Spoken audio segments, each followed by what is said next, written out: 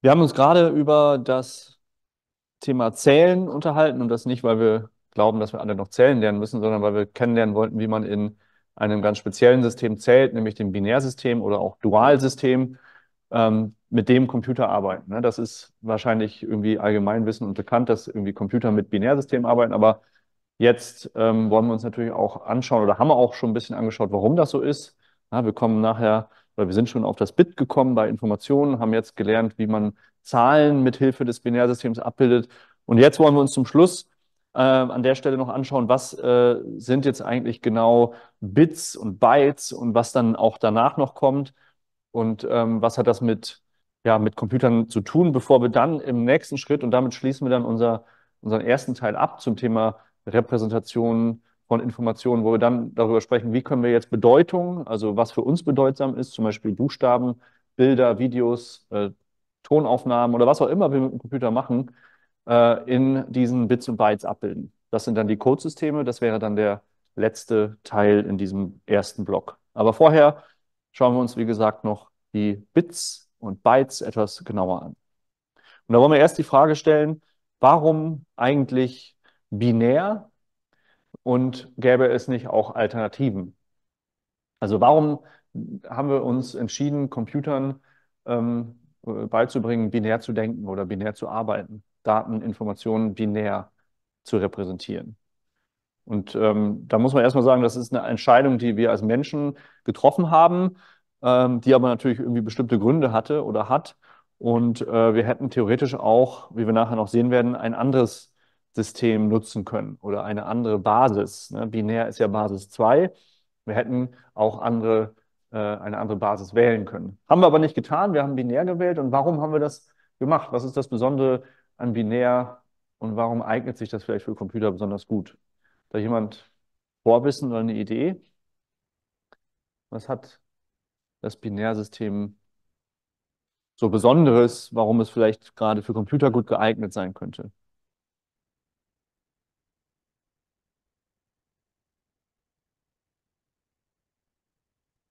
Ja, es ist im Prinzip, wenn man sich das nächste Bild anschaut, vielleicht etwas klarer, warum. Und wir stellen uns das mal hier vor. Ähm, wir haben eine Reihe von Glühbirnen oder heutzutage wären das LEDs, die leuchten oder eben nicht an oder aus sind. Ne? Und das ist ja das, was wir auch schon des Öfteren gesagt haben bei Bits. Die können wir äh, interpretieren als Ja, Nein. Ne? Das war der Anfang, wo wir herkommen mit den Informationen. Immer Ja, Nein fragen. Auf eine Frage bekommen wir entweder Ja oder Nein. Dann haben wir gesagt, Ja könnten wir als Eins äh, interpretieren oder äh, abbilden und Null wäre dann die Nein-Antwort. Ähm, genauso könnten wir auch sagen, eins ist an und null ist aus. Wir können diese zwei Zustände beliebig in irgendwas, ähm, sagen wir mal, Reales ähm, mappen in der echten Welt. Und wir haben jetzt hier mal das Beispiel Glühbirnen, äh, wo dann vielleicht null an, äh, aus bedeutet und eins wäre dann an. Da könnte man also so eine Serie von Nullen und Einsen dahinter schrei äh, darunter schreiben. Und nun haben wir Glühbirnen oder LEDs und die haben ja eine bestimmte Eigenschaft. Sie arbeiten alle elektrisch und das tun unsere Computer ja auch. Die sind ja, äh, brauchen einen Akku oder einen Netzstecker, äh, um zu funktionieren. Und bei äh, Elektrizität haben wir auch, genauso wie man das bei Glühbirnen sieht, ähm, diese schöne Eigenschaft, dass man sie entweder an- oder ausschalten kann. Wir können also sagen, äh, es fließt Strom oder es fließt eben kein Strom. Und das ist tatsächlich die Eigenschaft, die das Binär, oder das ist der Grund, warum das Binärsystem so gut für Computer funktioniert, weil wir letztlich äh, die Geräte über Strom betreiben können und letztlich sagen können, okay, wenn wir ähm, Bauteile wie zum Beispiel Schalter hätten, die wir an- oder ausmachen können, dann können wir darüber 0 oder 1 abbilden. Und wenn wir 0 oder 1 über Schalter abbilden können, dann können wir darüber auch alles andere, was wir sehen werden, mit, was wir mit Nullen und Einsen codieren später in Codesystemen, dann abbilden. Ja, also die Idee 0 oder 1 ist äh, mehr oder weniger aus der Not heraus oder einfach pragmatisch heraus entstanden, dass man sagt, okay, wir haben Bauteile, wie wir nachher noch sehen werden, ähm, die wir heutzutage verwenden, nennt sich heutzutage ein Transistor. Der ist entweder an oder aus, den kann ich steuern. Äh, wir können uns das auch als Glühbirne vorstellen, entweder an oder aus. Strom an oder Strom aus. Und deswegen sind unsere Computer heutzutage binär. Das ist aber nicht zwangsweise so. Wir können uns auch vorstellen, Computer auf Basis 3 auf Basis 4 oder auf Basis 10 zu, zu erstellen, bräuchten dann allerdings andere Geräte. Das werden wir auch gleich noch uns mal verdeutlichen. Wenn wir also in Computern äh, von diesen ähm, Glühbirnen sprechen und sagen, ein Bit ist entweder 0 oder 1, an oder aus, dann äh, müssen wir uns erstmal kurz noch vergegenwärtigen, dass also jede Glühbirne, jeder Schalter dann ein Bit repräsentiert. Und das ist letztlich die Abkürzung, hatten wir, glaube ich, noch gar nicht eingeführt. Bit stammt von Binary Digit. Ne? Das hat dann auch seinen Sinn. Binäre Ziffer. Binäre Ziffer ist ein Bit und daher kommt der Name, der gleichzeitig die Information misst. Was sind dann 8 Bits? Das ist ja nicht Zufall, dass wir hier 8 Glühbirnen haben. Das habe ich eben auch schon öfter gesagt. 8 Bits, das nennen wir ein Byte. ein Byte ist also die Zusammenfassung von 8 Bit, also letztlich auch eine Informationseinheit. Ne? Also wir sprechen typischerweise dann über Bytes und Potenzen, Zehnerpotenzen von Bytes häufig, ne? wenn wir über äh, Speicherkapazitäten sprechen. Weiß jemand zufällig, was ein halbes Byte ist? Wie man das nennt? Da gibt es auch einen Namen dafür.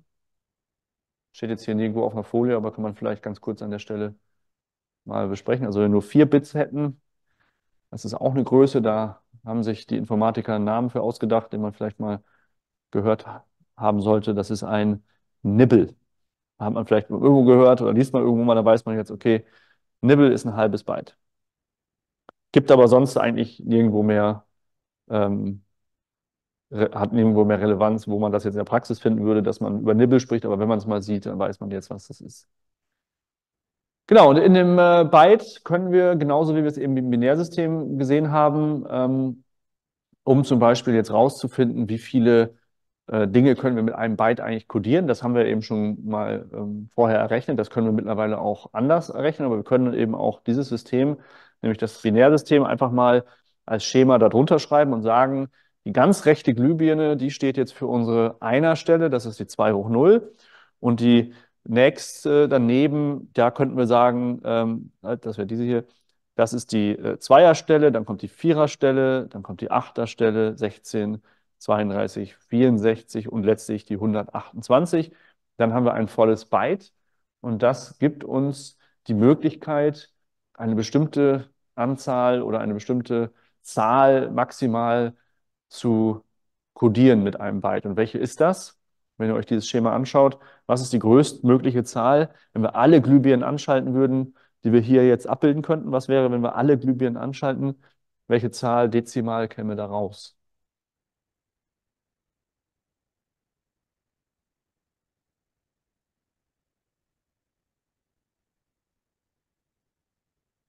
Überall eine Eins, überall leuchtet die Glühbirne.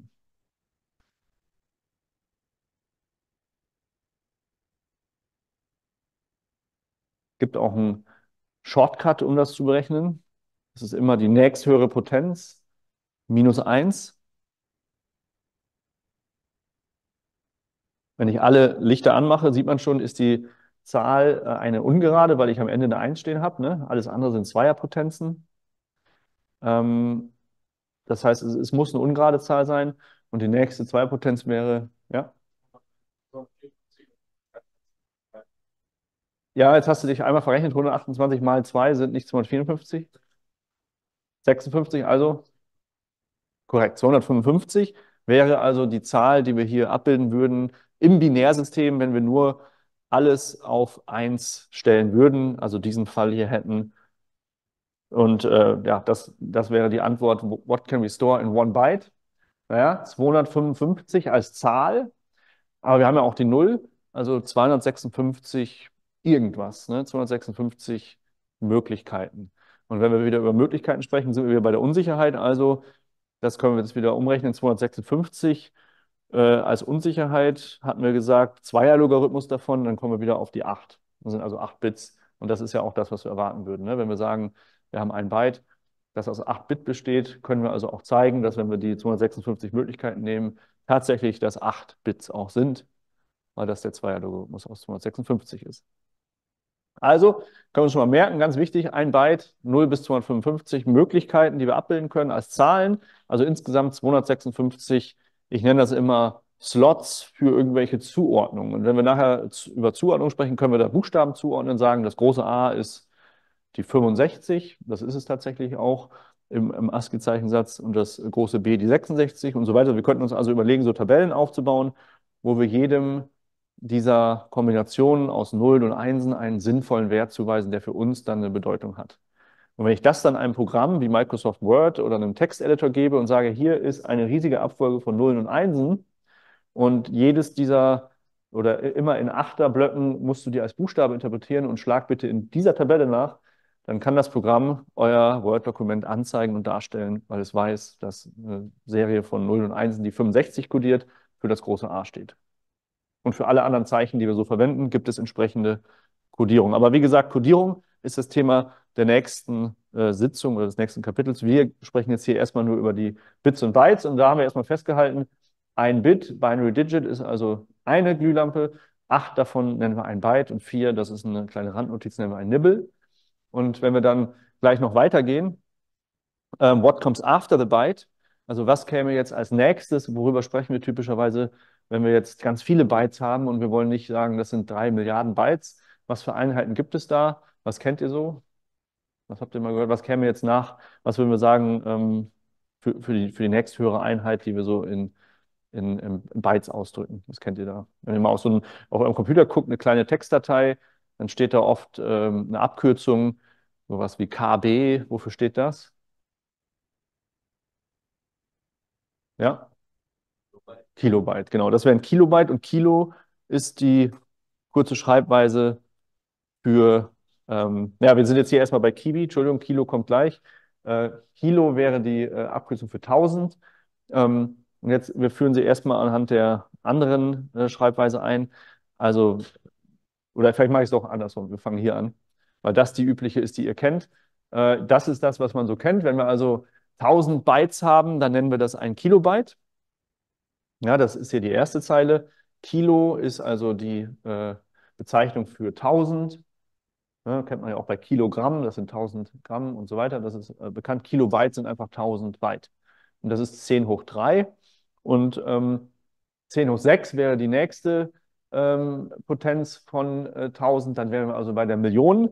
Und dafür haben wir den Begriff Megabyte. Mega bezeichnet Millionen, also ein Megabyte sind dann eben eine Million Bytes. Ja, und wenn man jetzt sagt, okay, ähm, Disketten kennen die meisten von euch wahrscheinlich nicht mehr, aber so eine Diskette hatte früher dreieinhalb MB Speicherplatz. Dann wissen wir jetzt, wie viele Bytes da draufpassen, wie viele Bits, also wie viele Nullen und Einsen auf dieser magnetischen Floppy Disk gespeichert werden konnten. Nicht so viele im Verhältnis zu dem, was wir heute so speichern. Ne? Also da gehen wir dann eher in den Bereich Giga oder auch, was kommt danach? 10 hoch 12 Terabytes, genau. Und das geht dann äh, noch beliebig weiter.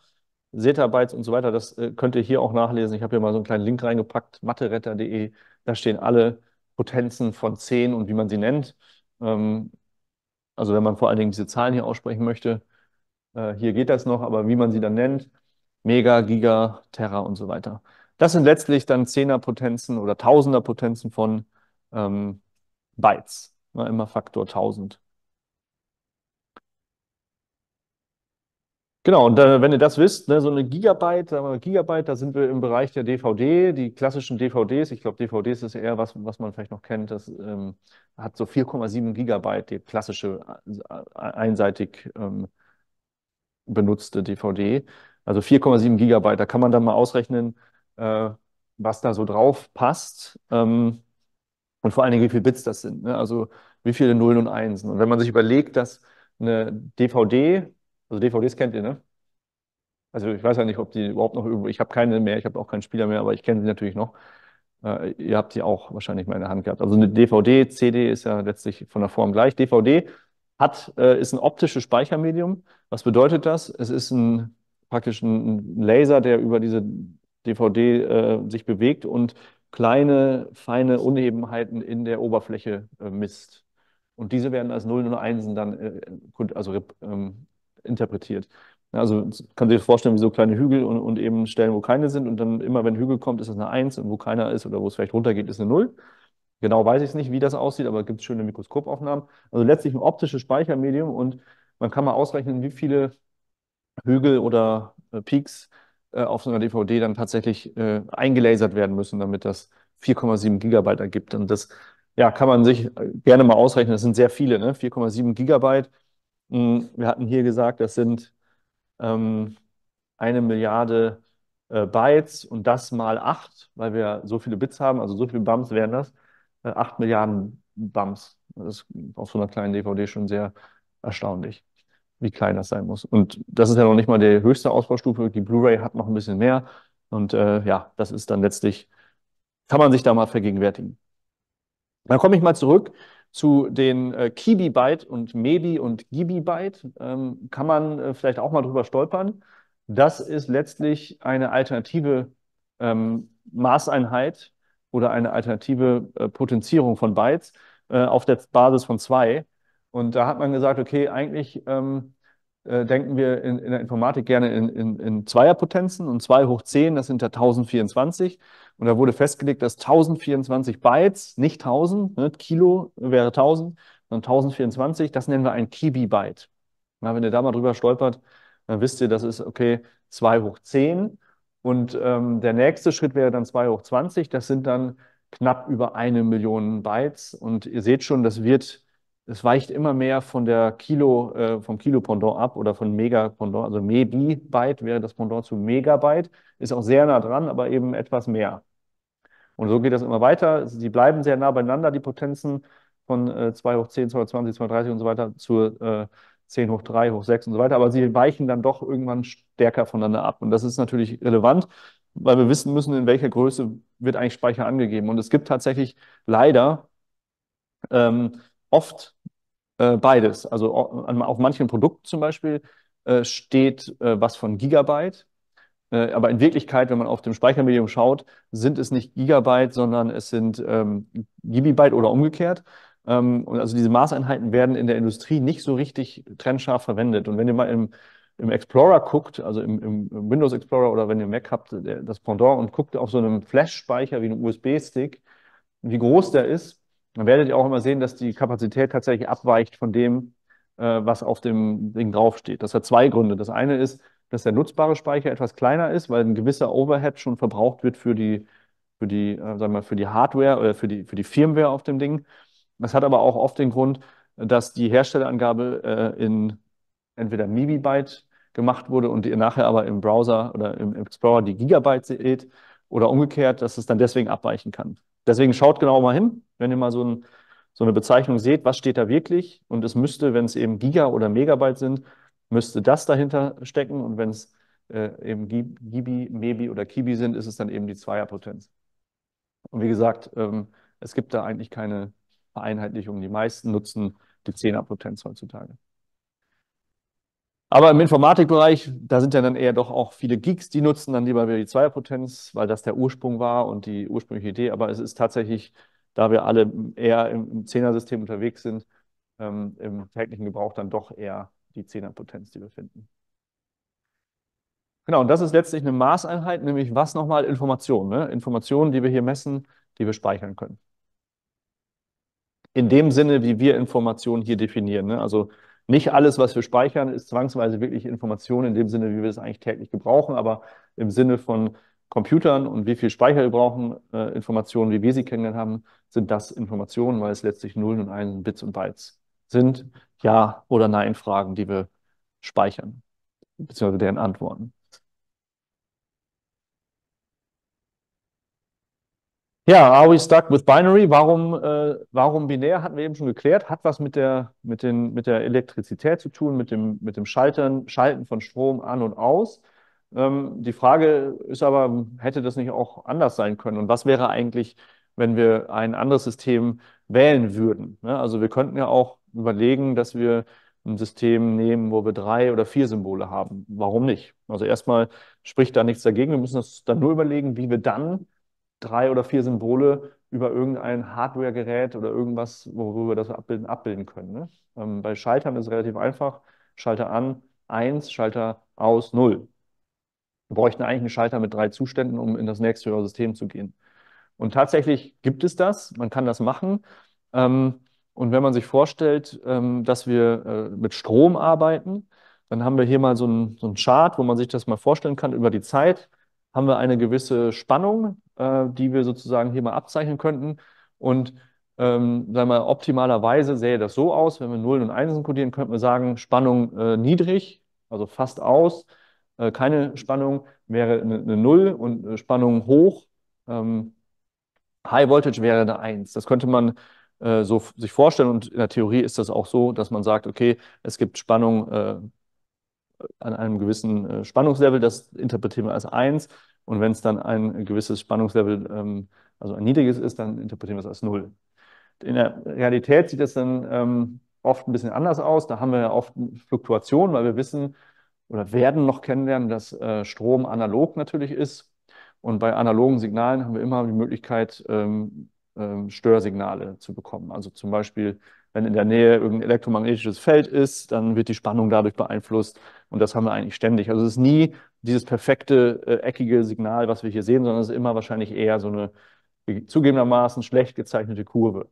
Die ist hier einfach mal illustrativ. Also wir haben immer so kleine Peaks, wenn da zwischendrin mal äh, ein paar Handywellen reinkommen, dann kann das schon äh, die, die Spannung beeinflussen.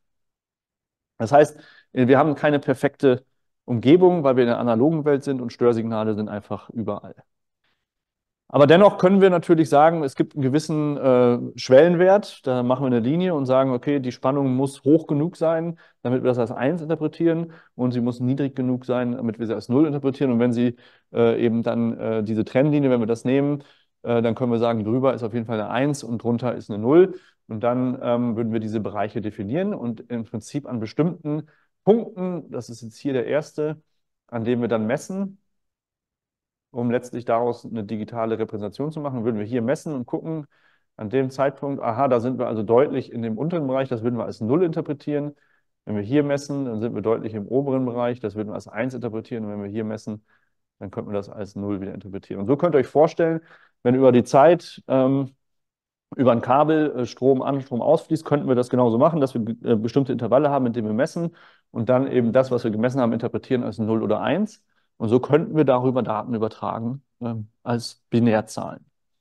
Ähm, das funktioniert bei zwei Symbolen eben, so wie hier dargestellt, relativ gut, weil wir da sehr trennscharf zwischen zwei Symbolen unterscheiden können. Also entweder ist die Spannung niedrig oder sie ist hoch. Dennoch können natürlich Fehler passieren. Das heißt, wir müssen auch immer ähm, Fehler, also Abfangmechanismen für entsprechende Fehler mit einbauen bei der Kommunikation, wenn wir über, über bestimmte äh, Medien kommunizieren. Aber diese fangen, äh, das, das, da stellt man sicher, dass man im Prinzip beim Empfangen so eine Art äh, Prüfsumme hat, dass die Nachricht auch wirklich äh, Sinn ergibt. Und wenn sie das nicht tut, dann wird sie einfach nochmal gesendet. Das kann passieren, aber im Grunde passiert hier bei diesen digitalen Übertragungsmöglichkeiten wenig Fehler, weil wir eben sehr gut zwischen diesen beiden Werten unterscheiden können, also niedrige Spannung und hohe Spannung. Das ähm, wäre jetzt, wenn wir die Basis, darüber hatten wir eben gesprochen, warum machen wir nicht Dreier-System? Ne? Also da hätten wir ja viel mehr Informationen, weil wir wissen ja, dass wir mit, äh, mit drei Symbolen ähm, mit der gleichen Anzahl Stellen viel mehr Informationen übertragen können. Ne? Wir könnten also dann viel kürzere Nachrichten machen, wenn wir also drei Symbole hätten, also 0, 1 und 2. Und ähm, tatsächlich ist das so. Und wenn wir noch höher gehen, wird es immer mehr an Informationen mit immer kürzeren Nachrichten. Aber es bedeutet auf der anderen Seite eben auch, dass wir dann unseren Spannungsbereich, wenn wir da mal bei dem Beispiel bleiben, in drei Bereiche einteilen müssten. Das wäre dann hier eben ganz unten 0, in der Mitte wäre 1 und dann käme die 2. Dann könnten wir das genauso machen und sagen, dass ähm, wir eben die jeweiligen Bereiche und bei 4 wäre es dann eben so und bei 5 so. Das heißt, unsere Bereiche werden immer kleiner und wir könnten dann äh, aber das gleiche Vorgehen wählen und immer messen, wo befindet sich die Spannung gerade in diesen gleichen Abständen und dann sagen, okay, wenn die Spannung in dem Bereich ist, dann interpretieren wir das als 3, wenn es in dem Bereich ist, als 4 und so weiter. Aber ihr seht schon, was das Problem vielleicht ist, wenn wir nämlich berücksichtigen, dass wir äh, Störfaktoren haben. Und dann ähm, sehen wir, dass bei kleineren Bereichen immer schneller mal ein Störfaktor dazu führt, dass wir in den nächsten Bereich gelangen oder sogar in zwei Bereiche darunter oder eben äh, dieser, diese Störungen äh, eine Auswirkung haben auf das letztlich interpretierte Signal. Und das ist natürlich nicht das, was wir wollen. Äh, in diesem Fall seht ihr, dass, ähm, wenn wir das mal kodieren würden, wäre der erste hier äh, in dem Intervall der 1, also das würde man als 1 interpretieren, der zweite wäre eine 2, alles schön sauber, bis wir dann zur 3 kommen, wo wir dann nicht ganz sicher sind, ob das wirklich eine 3 sein sollte oder ob das nicht einfach nur ein Störsignal an der Stelle war, der uns in das Intervall der 3 geschubst hat, in dem Moment, wo wir gemessen haben. Schwer zu sagen, aber die, die generelle, das generelle Takeaway hier ist, umso mehr Unterschiede wir machen müssen bei der Messung, umso höher ist die Wahrscheinlichkeit, dass wir auch mal falsch liegen oder dass wir ein Störsignal bekommen, das uns eine falsche Messung erzeugen lässt. Das ist das Problem. Ähm, und das ist der Trade-off letztlich auch, äh, wenn wir sozusagen in ein höheres System wechseln. Ähm, bedeutet, wir brauchen weniger Hardware. Warum? Ja, wir haben eben gesagt, binär ist ein Schalter. Könnt ihr euch vorstellen, Schalter an, Schalter aus. Das ist tatsächlich das, was in euren Computern verbaut ist. Milliarden davon auf, auf einem kleinen Mikroprozessor. Ähm, Transistor genannt, diese Kleinstbauteile. Aber die sind praktisch binär, 0 oder 1, Schalter an oder aus. Wenn wir die jetzt so bauen, dass sie drei Zustände abbilden können, dann bräuchten wir viel, viel weniger davon, weil wir dann mehr Informationen gleichzeitig in weniger Hardware packen könnten. Ne? Wir könnten mehr Speicher äh, in so ein System auf Basis 3 packen. Wir könnten aber auch die Verarbeitung schneller machen, bräuchten weniger Hardware. Das wäre natürlich ein Vorteil. Also das heißt, wir hätten eigentlich einen Grund zu sagen, wir wollen das ähm, machen, mehr, mehr äh, Symbole, dafür weniger Hardware. Auf der anderen Seite werden die Messgeräte oder die Geräte, die wir brauchen, komplexer. Also so ein einfacher Transistor ist wirklich sehr simpel, besteht aus, äh, wie wir sehen werden, nachher einfach zwei Bereichen, zwischen denen Strom fließen kann, wenn Strom angelegt wird. Und das ist relativ simpel an oder aus da zu unterscheiden. Da brauchen wir nicht viel. Die sind wirklich winzig klein. Die, die können wir auf einen Chip, wie gesagt, milliardenfach ähm, drauf ähm, bekommen und äh, sind deshalb sehr klein. Wenn wir jetzt komplexere Hardware haben, wo wir drei Un Unterschiede machen müssen oder sogar vier oder fünf, ja, dann wird das natürlich entsprechend komplexer und vielleicht auch größer und teurer. Und wir bekommen wahrscheinlich gleichzeitig mehr Fehler. Ne? Also, dass wir, dass unsere Computer nicht mehr so präzise arbeiten, beziehungsweise wir mehr Fehlermechanismen äh, ähm, oder Abfangmechanismen haben müssen. Das ist der Trade-off. Und deswegen hat man, da gibt es auch ein schönes YouTube-Video von Computerfile. Ähm, Computerfile ist eine Videoserie, die erklären Phänomene in der Informatik. Da gibt es auch die Historie dazu, warum man sich letztlich für dieses Binärsystem entschieden hat und ähm, dass es durchaus Überlegungen gibt und gab, auch andere Computer zu bauen. Ja, und ähm, ganz kleiner Ausblick, Quantencomputer, ne, die, die sind letztlich ähm, Computer, die auf anderen Systemen basieren. Da werden wir, äh, da habt ihr praktisch äh, nicht mehr das klassische Bit 0 oder 1, sondern das Qubit und das kann mehrere Zustände gleichzeitig annehmen und das hat dann eine ganz andere Rechenart und Rechenart und Weise als unsere digitalen binären Computer heute. Das aber nur als kleiner Ausblick. Und das ist der, der, der, der Punkt oder der Grund, warum wir mit Bits und Bytes arbeiten. Nochmal zusammengefasst, Elektrizität ist einfach an oder aus, hat äh, natürlicherweise zwei Zustände. Wir können natürlich sagen, okay, es gibt mehr oder weniger Spannung, die könnten wir messen, wird aber komplizierter dadurch. Kleine Transistoren, die wir nutzen, ähm, früher übrigens nicht Transistoren, sondern davor waren das mal äh, ähm, Röhren, also die man auch noch in Radios findet, ähm, oder mechanische Geräte, wie zum Beispiel Relais, die können das auch, ähm, sind dann aber natürlich sehr laut und langsam und groß sind die gleiche Funktion, also letztlich ein Schalter, den man äh, elektronisch an- oder ausschalten kann. Ähm, und die sind sehr einfach zu bauen heutzutage. Ne? Also die, die Transistoren auf unseren Chips sind einfach sehr einfach zu bauen und sehr kostengünstig zu bauen. Und deswegen gibt es im Moment keinen Grund von binär abzuweichen. Und deswegen sind die meisten oder alle Computer eigentlich heutzutage basierend auf dem Zweiersystem und rechnen und speichern Informationen in diesem System.